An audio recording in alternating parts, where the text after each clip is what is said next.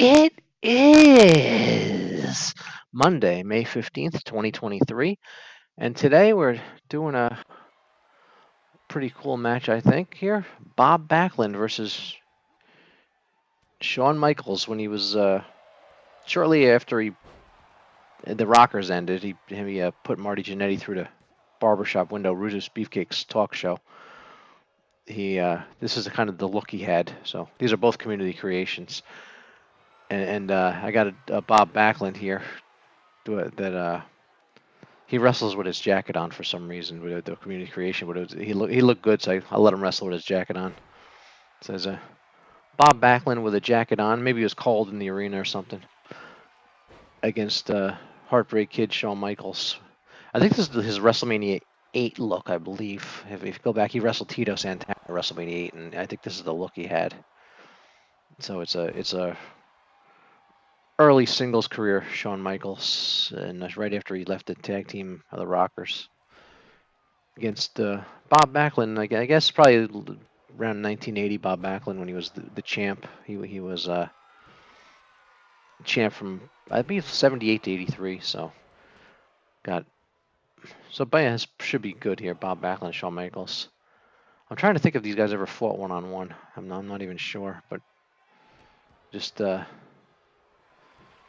so this this uh, they probably fought because Bob Backlund was wrestling in the '90s in WWF. I'm sure there was a match some, at some point with Shawn Michaels, but I could be wrong. I'd have to look that up. But so it's nice. I, I don't know if this is a this isn't really a fantasy match because it, it could have had if it didn't happen, it could have happened in, the in the uh, in the '90s, late '80s, early '90s when Backlund was in there. Backlund in there, and he was uh, I guess it was about 10 years after his, his uh, championship run in the 70s and 80s. He came back in the 90s and uh, became like a, he was a good guy, became like a bad guy in uh, Bob Backlund. He was acting crazy and stuff, and it was a changed his character quite a bit from what he was in the 70s. So we got we got uh see who's gonna win this, but this is I just thought of this match today. I just thought it'd be a cool match if they if they ever fought to be if they didn't fight. They could the two guys that can put on a good match, uh, fighting each other, have a good match. So I was I was uh, ready. I'm ready for uh, Monday Night Raw tonight. So we'll see what's gonna happen on Monday Night Raw. So so. Uh, who's going to watch Raw tonight. So I'm sure a lot, a lot of, a lot of people. Well, there's always a few million. And uh, we'll, we'll uh, see. I guess they're going to. Somebody um, look here what they are going to do tonight here. Oh, they're going to battle royal to determine the challenger for Gunther. And they got uh, Cody Rhodes is going to be on it. Miz versus Shinsuke Nakamura. Just looking at the the, the notes here for the there's a preview here on the internet to see who's gonna be on uh, Raw tonight. Yeah, like battle royals are always fun. We'll see see uh, Gunther is gonna fight Gunther.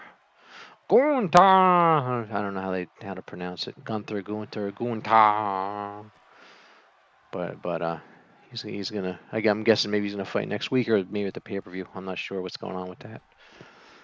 But we'll see. We'll see. Uh, we'll see what happens. I'm sure it'll be fun. So I, I'm person said that I've never seen a bad Monday Night Raw. They're either good or great because I, I always watch it, enjoy it.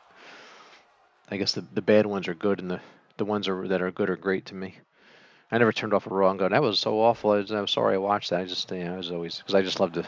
This is not, I just love wrestling to uh, too much to uh, not uh, enjoy it to some extent. It, it would have to be really bad for me to really hate it. But but uh, my yeah, so my favorite uh, the WWF in the '80s was my favorite time when when uh, Hogan was the champ and Andre the Giant was running around and Macho Man, Ultimate Warrior, those guys are there. And then then I like the I like the Stone Cold and the Rock and stuff, but the, that time period was was great, but it was second to the how it was in the '80s to me. Then the Bruno in the '70s was uh, a lot of people liked the when Bruno was the champ defending the belt at the Garden, Madison Square Garden. But everybody's everybody got a favorite era of professional wrestling. But yeah, it's like you got you go way back to Gorgeous George and guys like that. Who remembers Haystacks Calhoun? 601 pounds. He, yeah, he was he was uh he was a big he was a his prime was the 70s. I think he was in our 60s and 70s. He and uh, guys like that, or, or uh, and Angelo Mosca and um, Ivan Putski. I should have a match with Ivan Putski at some point. Ivan Putski and Jesse Ventura. I don't. I think they. I don't think I've had that match yet. That that that was a feud. They had the arm wrestling challenge and stuff. So I should do Ivan Putski versus Gunta. That's what I should do. Ivan Putski versus Gunta. Just do that match. Oh, nice kick by Shawn Michaels. Let's see if that ends it. We got one, two, kick out. Now let me know if you want to see Ivan Putski versus Gunta. All right, let's see. See. Uh, Bob Backlund. I got to get a Backlund without the jacket. It's it's it's silly. He's wrestling with a jacket, but I'll go with it for now. We'll just we'll just pretend the air conditioning was on too high, and he was freezing. He threw a jacket on for the match. But but uh, Shawn Michaels is forearm Backlund right out there. HBK got another finisher. See if he gets the not no dirty pin there. Oh, he's going. To be I think he was going for the kick down. Looked like it. Let's see if Backlund come back and uh, get him.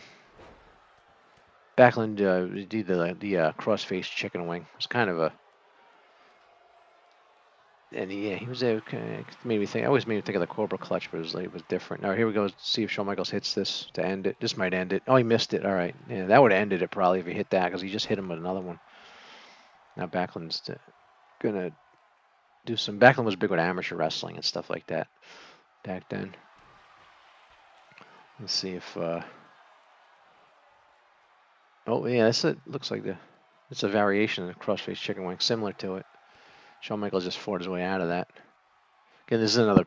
I'm having a pin only match, so it won't end with a crossface. I'll wear him down though, so I can get a pin. Backlund. Now I've never seen Backlund do that backflip off the top rope like that. He was a he mostly he wrestled. He was a more mat wrestler. Bob Backlund. He wasn't a high flyer like that, but I guess that's in his move set. Whoever created my Bob Backlund I got here. Yeah, Bob Backlund. He wear he liked to wear red tights, blue tights, uh, green. I guess he was this way. He wore people wore very plain, uh, nothing very colorful like what Shawn Michaels has on. He wasn't that kind of uh, colorful wrestler like that. He just was. He was just a good wrestler because as always, it was good he fought Bret Hart and stuff. He was also a good wrestler. Bret Hart had was more more colorful stuff he wore, but he would he would uh, do really good matches. So I like the guys that were really good at just pure wrestling, like Bob Backlund and Bret Hart, and could put on a real good wrestling match because it's some people turn in for tune in for the promos and stuff like that, and I, I, I like I turn in for the matches, and I just want to see good quality wrestling matches occur. I like when they want them to be as realistic as possible. So I like that's why I like Bob Backlund and Bret Hart and guys like that. I like the other guys too, like Hogan and Warrior and stuff that didn't put on big technical matches. They just kind of had a, it's a lot of clotheslines and things like that. Let's see if Backlund kicks out as we, we're nearing 10 minutes on this match.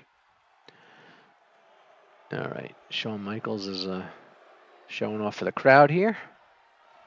How's this Shawn Michaels? I should do Shawn Michaels versus Gunta. I should do that. Try that match. That'd be good too. I got to do some matches with a with a Gunther because he, he's uh He's, I like Gunther.